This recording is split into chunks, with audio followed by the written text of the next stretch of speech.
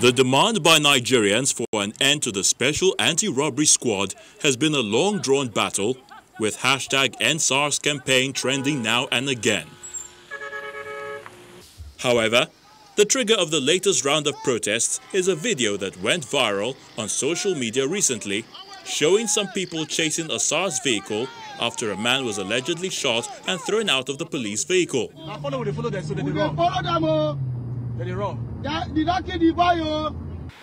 But the Delta State Police Command later denied the allegation, claiming the video was fake.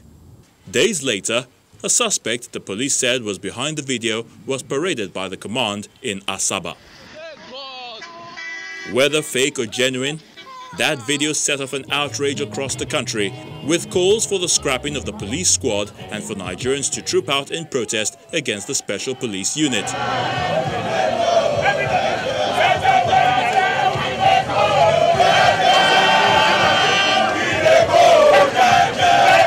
That call was not ignored as youth began marching in the streets of several cities across the country, demanding an end to SARS.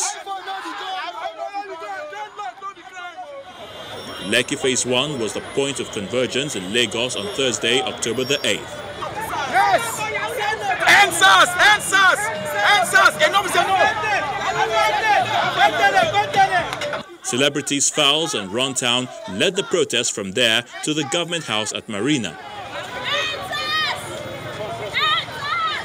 They were accompanied by men of the Nigeria police.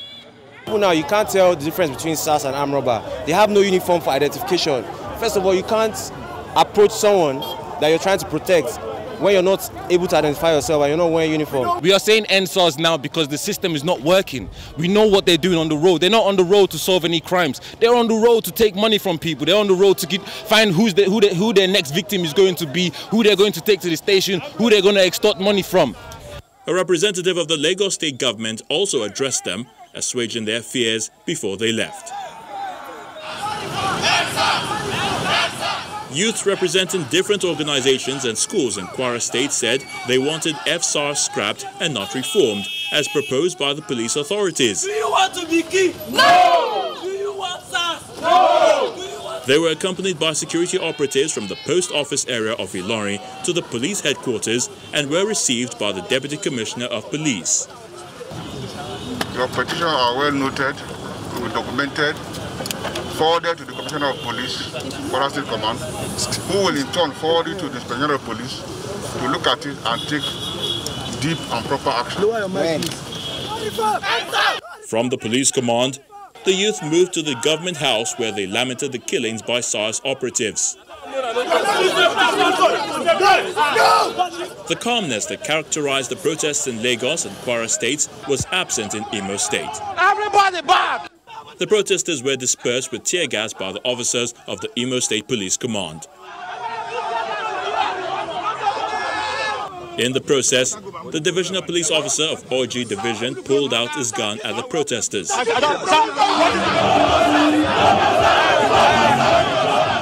In Benin City, a group of youths converged on Ring Road before marching to the NUJ Secretariat and later to the Edo State Police Headquarters to express their grievances. People are not even afraid of armed robbers. They are now afraid of the police that are supposed to maintain law. It was banned 2017, 2018, 2019, 2020, but now we are saying end to SARS. The protesters also hit the streets in the nation's capital, Abuja. Besides the placards calling for the end of SARS, their chants included a demand to see the Inspector General of Police. The force PRO was on hand to address them. Regardless of the current situation, it now remains to be seen whether the demands of the protesters to have the Special Police Unit, SARS, outrightly ended are met.